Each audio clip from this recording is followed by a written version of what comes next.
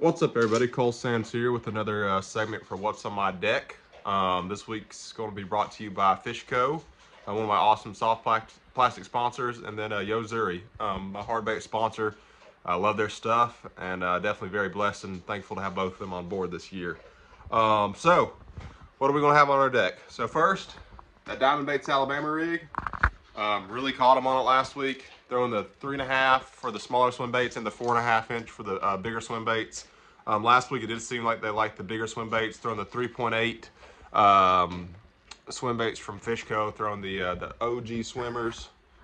I have a pack here. Um, it seemed to be on that bigger bait last week, but also caught them throwing the slim swimmers the week before. Um, this is the package the diamond baits come in. Uh, awesome Alabama rig, super strong. Throwing that on 20 pound Yo-Zuri T7 fluorocarbon, uh, 7.6 heavy Shaman Series Witch Doctor tackle rod. Um, next off, I said they're eating big bait. One of my clients was nice enough to give me a 9 inch KG, KGB shad um, glide bait. To have it tied on, to sling it around a little bit. Throwing that on a like a 711 um, Witch Doctor Tackle Kahuna extra heavy glass rod. I like a glass rod. I'm throwing a really big glide bait. Uh, putting that on 25 pound fluorocarbon, uh, Yo-Zuri. Definitely don't want to break it off. Um, next off, we're going to be throwing a Rattlin Vibe. This should be an awesome week to throw a lipless. Uh, that is the 3 8 ounce Rattlin Vibe there. I'm going to throw that one and the bigger one. Uh, that's the royal purple color. Um, awesome color. Um, throwing that on 16 pound Yo-Zuri T7 fluorocarbon. Put that on a 7.2 Sermon series, half glass, half graphite rod. Um, awesome, awesome trap rod. Uh, going to be throwing that just around a lot of shallow flats, back of pockets, stumps, all that good stuff. If you're interested in what I'm targeting, uh, Fishing for Dummies, I do a weekly map study, really break down exactly what I'm looking for. That link will be in the bio. Uh, appreciate everybody who subscribed to that. Um, then that royal purple is just always good color. Uh, the past few weeks, the jerkbait bite has been awesome. Throwing that on 12 pound Yo-Zuri T7 fluorocarbon. Put that on a 610 Sermon series Witch Doctor tackle rod, but I put that on a medium. Um, I'll probably throw the, I got a deep one tied on. Uh, that Ghost Pearl Shad has been the color lately. Um, but I'll probably put that on a um, more of a shallow diver as it warms up throughout the week. Uh, next off, more Rattler vibes. Um, same setup for that with the 7.2 medium heavy Sermon series. That's the 5 8 ounce Rattler vibe. Uh, that's the one knock. Um, the water is a little bit cleaner. Sometimes I like that one knock in that cleaner water. That's the matte crawfish color. It's going to be a killer.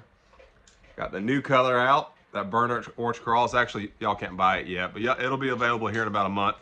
I'm going to be throwing it, getting some uh, some experience with it, see how they like it out in Chickamauga.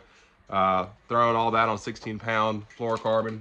Um, and like I said, the water's pretty clean. Got another lipless tied on. As you can tell, I'm expecting to really catch them on a lipless. Always good to have several colors tied on. Um, each day's different, and you know, um, I'm just going to kind of figure it out because lately I haven't been throwing it a ton. It's been more jerk bait and Alabama rig, but uh, that's the Ghost Pearl Shad. I've caught probably more giants on Chickamauga on that color than maybe any other color, with the exception of maybe that red one. Um, then for the last two, I'm going to be throwing just a uh, jackhammer. Um, Fire Craw is always a good one. Putting that also on the Sermon series. Uh, and then going to be throwing another jackhammer, more of a shad pattern. Uh, with these, I throw a 20 pound line instead of 16. I just like the 20. I, I think it helps me keep it above the grass. Um, got a little prototype uh, uh, chatterbait trailer from Fishco that y'all probably can't see yet. Um, and then uh, going to be throwing. As you can tell, I'm gonna, I think this is going to be a week where a lot changes. As it's you know just so warm. I'm also going to be throwing just like a single swim bait, like a bigger five inch version. That's a true bass. Um, putting that on a 7.2 heavy. Uh, Voodoo 2 Witch Doctor tackle rod. Uh, I just like a little bit heavier rod when I'm throwing a single swim bait. And then one more thing I'm going to be throwing a lot this week. Just a little Damiki rig. This is a small little uh, 3 16th ounce jig head. Um, and that is Fishco's new little uh, forward-facing sonar. We don't even have a, a, name for it yet. It's going to come out next week. We're working on a name. But a little uh, forward-facing sonar minnow. It's got a real cool bottom design that it kind of quivers when it falls. Um, and I'm going to be throwing that out there a lot just on a 7.2 um, medium action uh, Witch Doctor Tackle uh, Shaman Series rod. Um, And uh, that's that's on my deck. That's what's on my deck this week. Should be an awesome week of fishing. Um, seen a lot of big fish get caught lately.